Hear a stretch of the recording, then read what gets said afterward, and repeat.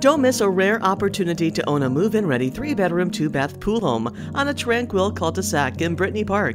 Beautifully situated on 0.22 acres, this meticulously maintained home has been updated from roof to flooring within the last 5 years. It features high ceilings, an open floor plan, and French doors leading you back to your private oasis.